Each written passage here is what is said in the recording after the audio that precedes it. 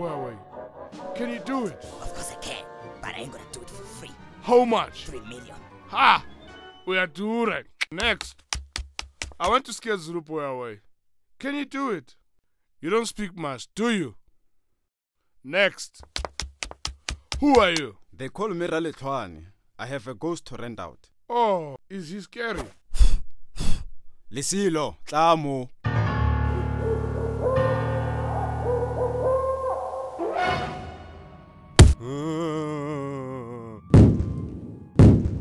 Yo, he is scary. I told you. How much? 1000 stina. I have 10 rand. Forget it. Okay, okay, okay.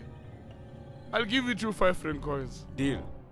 Remember, blow it twice and summon his name. I got it. Ha! Zuluboy, prepare for horror.